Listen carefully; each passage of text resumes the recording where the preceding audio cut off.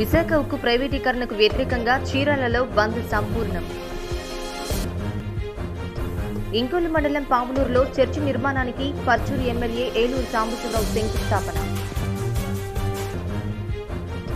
Chirala municipal ఎన్నికల్లో వైఎస్ఆర్సీపీ అభ్యర్థుల ప్రచార హోరు. వార్డుల్లో పర్యటించిన ఎమ్మెల్యే కర్ణం బలరాం కృష్ణమూర్తి మాజీ మంత్రి డాక్టర్ పాలేటి రామారావు. చీరాల పట్టణం ఇరవై ఐదవ వార్డులో జనసేన అభ్యర్థి ఇంటింటి ప్రచారం. చీరాల ఏరియా వైద్యశాలకు వీల్చైర్ బహుకరణ.